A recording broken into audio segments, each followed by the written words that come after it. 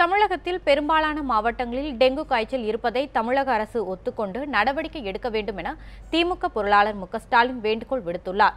சென்னை கொளத்தூர் தொகுதியில் சுமார் எழுபத்தோரு லட்சம் ரூபாய் செலவில் மழைநீர் வடிகால் பணிகளை மு ஸ்டாலின் தொடங்கி வைத்தார்.